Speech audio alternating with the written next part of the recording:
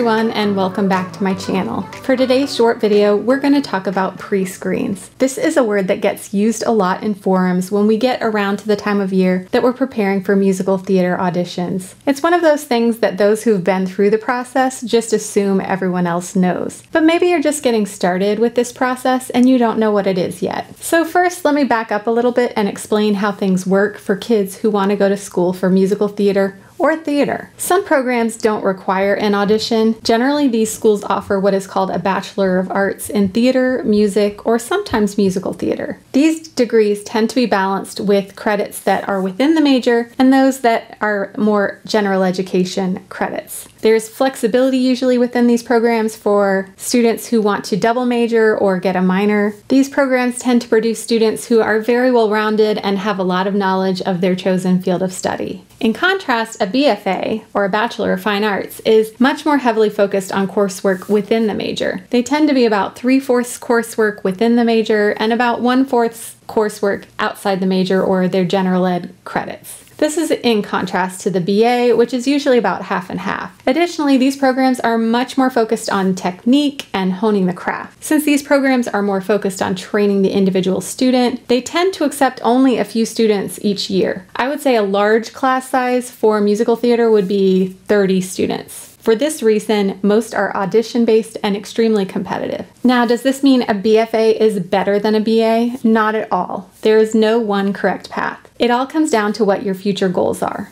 Only you can decide which path is best for you. If you do decide you want to pursue a BFA or attend a BA program that requires an audition, you're going to need to jump through quite a few hoops to get accepted. Due to the competitive nature of these programs, it's generally advised that students apply to 20 or more programs. By now, it might start to dawn on you that what it would take to audition for all of these schools in person. It would be quite expensive for the students to go to all of these colleges in person and take quite a bit of time. And then on the school's side, it would take quite a lot of coordination and time to allow every student who wants to attend their school to come and audition live and in person. So this is where pre-screens come in.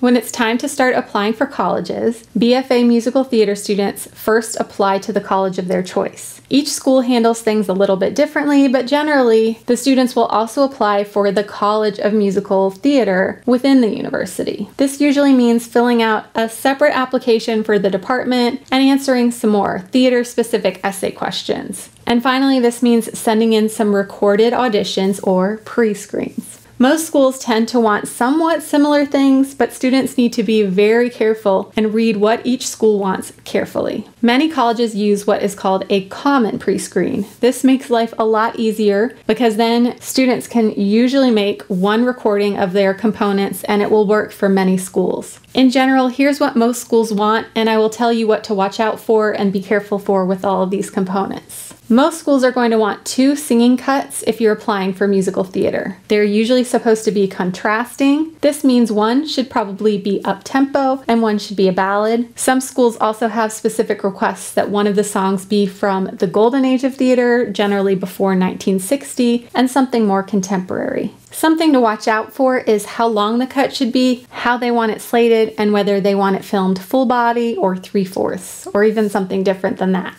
Schools will also want at least one monologue. This almost always should be from a straight play and not from a musical, movie, or TV show. Some schools will want two monologues. Again, they may ask that they are contrasting. And some schools will ask for a monologue from Shakespeare or one of his contemporaries. Still, you will need to watch for the length of how long these should be, how the school wants them filmed, and how they want the slate handled. Finally, most musical theater schools will want some type of dance demonstration. Some schools are relatively broad with this request, they just want you to show what you can do for a minute in your chosen dance genre. Others might ask that you show some specific ballet moves. Schools sometimes even have their own combination they want you to learn and film yourself doing that. Schools can also offer the option of a wildcard video. This is exactly what it sounds like. Anything goes for these. These are called pre-screens because the universities get so many applicants. They use these videos to cut their pool of applicants down to a more reasonable amount. They will then hold actual in-person auditions. These can be held on their campus at a unified or consortium audition, or as is likely to be the case this year, live Zoom auditions. When it's time to record your pre screen, you'll want to wear something similar to what you would wear to an audition. Your hair should be out of face, you should look your part, and